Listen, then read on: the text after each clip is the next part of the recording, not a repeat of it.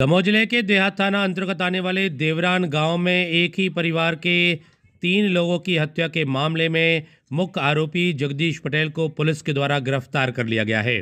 मामले की जानकारी लगते ही सागर संभाग के आईजी श्री अनुराग मौका स्थल पर पहुँचे और उन्होंने इस बात की जानकारी दी कि पुलिस की मुस्तैदी और घेराबंदी के बाद मुख्य आरोपी जगदीश पटेल को उनके द्वारा पकड़ लिया गया है, पुलिस के द्वारा पकड़ लिया गया है।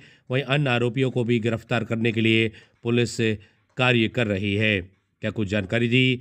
सागर संभाग के आईजी ने इस मामले को लेकर के, मुख्य आरोपी के मामले को लेकर के और घटना के कारण को लेकर के आपको सुनाते हैं। मेरी रिपोर्ट, एसीएन न्यूज़। सुबह एक खबर मिली थी, सुबह सात बजे, साढ़े सात बजे की प्रॉब्ली ये घटना है।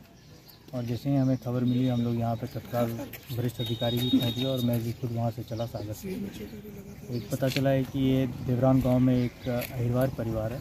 उस उस परिवार में से तीन लोगों की हत्या कर दी गई है पटेल परिवार, जिसमें से जगदीश पटेल मुख्य आरोपी हैं और उसके साथ भी और भी उनके परिवार के लोग थे।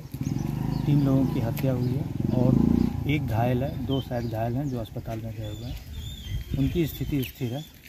इसमें केस रजिस्टर कर लिया गया है और इसमें हम लोग बहुत बारीकी से चीज़ों को देख रहे हैं।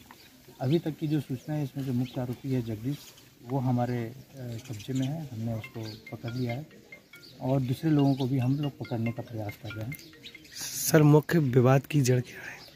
अभी तो जो बातें जो पता चली है हर तरफ़ से अलग अलग बातें पता चल रही है। एक तो ये पता चल रहा है कि दोनों तरफ़ से आरोपी लगाया जा रहा है कि महिलाएँ जो थी, उनके ऊपर दूसरे परिवार के पुरुष लोग जो हैं, वो गलत निगाह रखते थे, जिसके कारण से ये विवाद हुआ है।